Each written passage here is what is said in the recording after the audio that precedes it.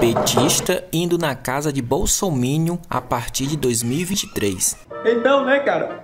Só queria te dizer que tu tava certo mesmo, amigo. Tu tava certo. É, eu votei no presidente errado. Ih, rapaz, foi mesmo, hein? Faz o L agora, hein? Faz o L. É, o preço do gás aumentou mais de 60 reais. É só fazer o L, amigão. E a picanha tá mais de 300 reais o quilo, amigo. Hum. Bem feito, viu? Faz o L agora, ó. Faz muito L aí, ó.